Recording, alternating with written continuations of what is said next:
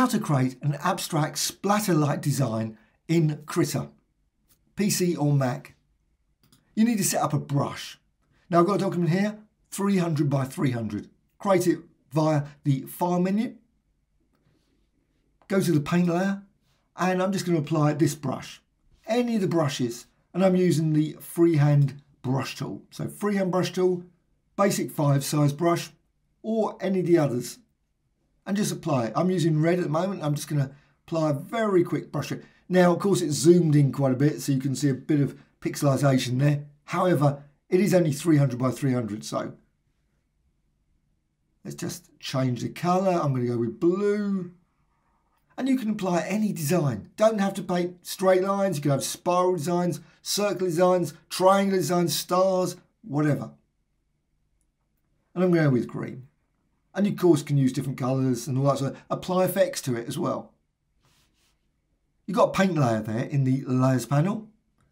And what you need to do, just remove the background. Now, it won't let you delete it straight away.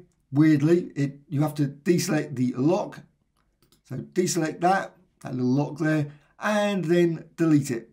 And you get transparency. So you've got transparency, and that's the key thing. You don't want the white background.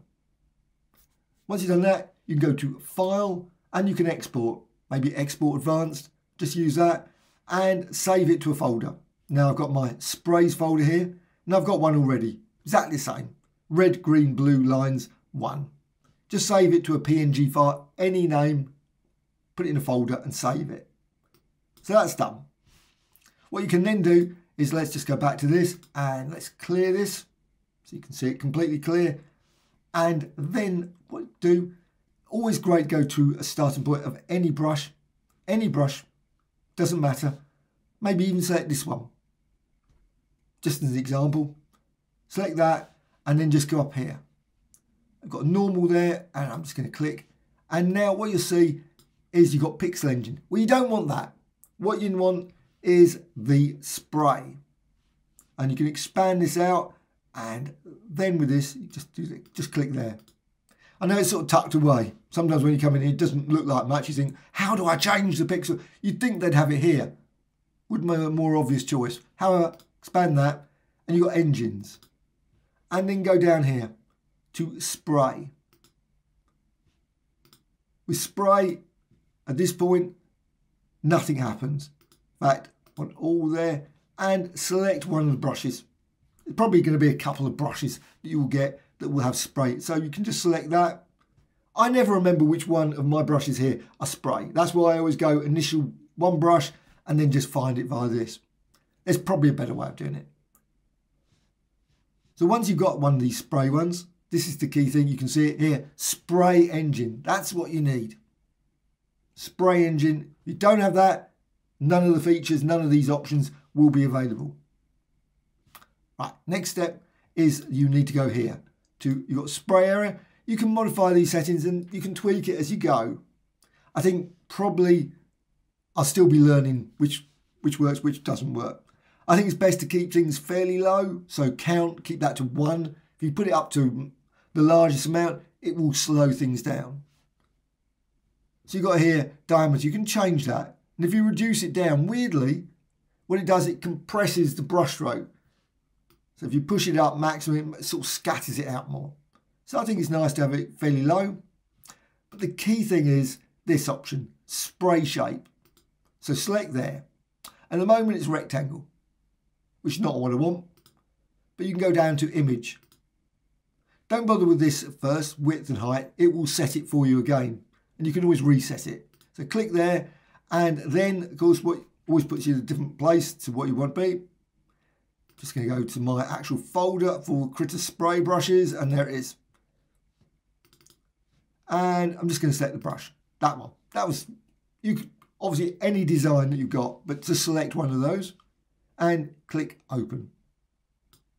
And now you've got it stored away, that brush. You can see it sets it because it was 300 by 300. But you can resize it. If you don't want it to be 300 by 300, you might like it a bit smaller.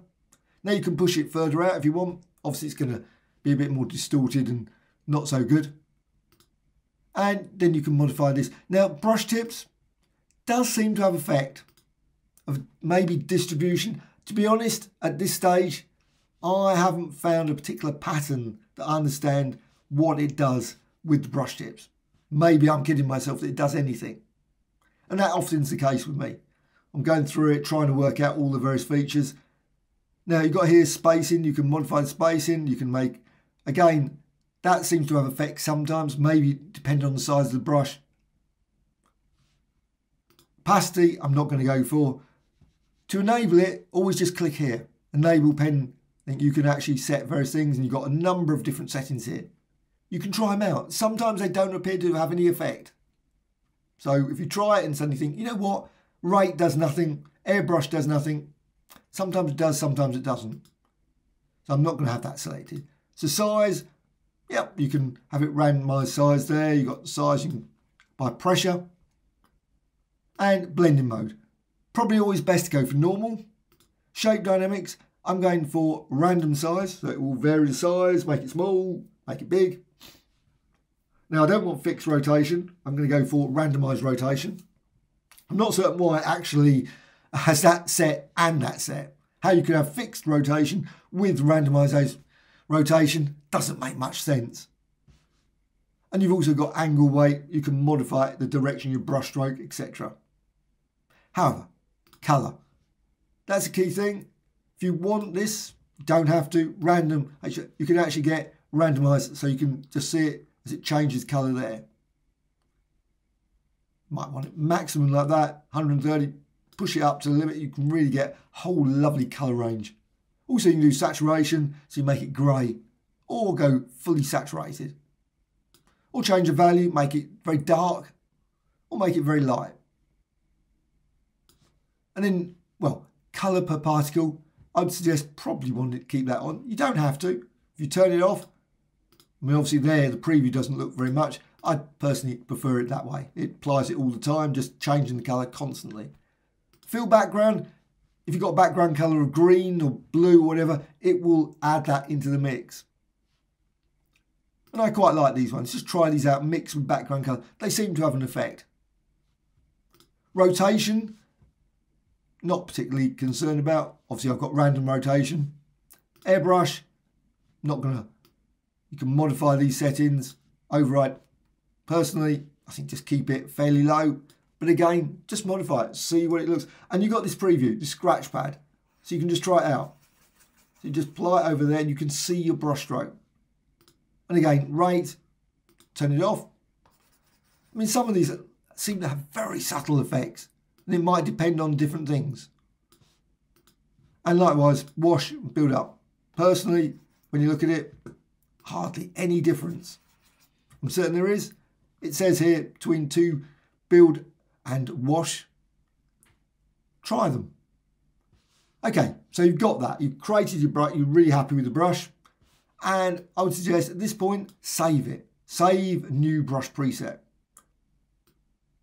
I'm just going to click there and then you can see the other design. You've got this design here, scratchy line. That's one of my ones. But you can clear the thumbnail and then you can apply it. And it's great to have a, a design so you can see what the design is. So you've got your scratchy line. Now, obviously, give it different thing than that. Abstract lines two. I've already got one already called one. So click save. Now, once you've got that, you can see over here you've got your thumbnail. However, if you go back to this one, let's just go back to this one. This is the one that I was working on. And you may find now you've got this, which is not what you want probably for this one because you've got already a, but you can always go up here. It's a weird way of working, but you can click here and you can always reset it. Just reset it and it's back to what it was.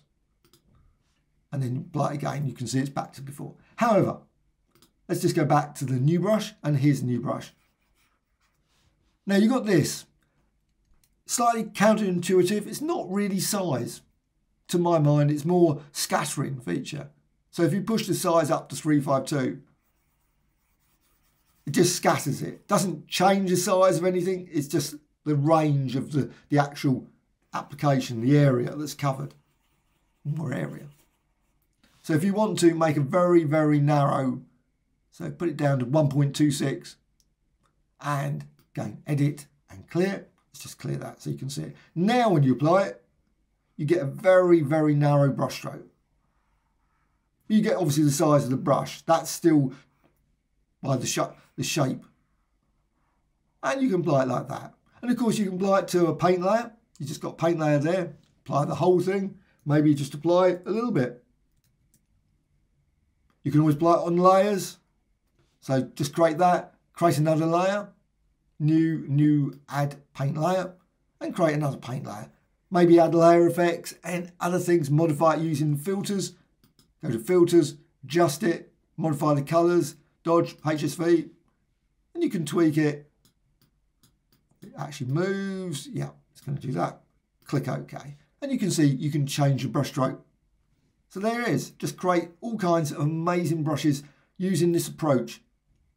Well, hope you found this tutorial of interest. Any questions, please let me know in the comments below. It's always great to know. Thank you much.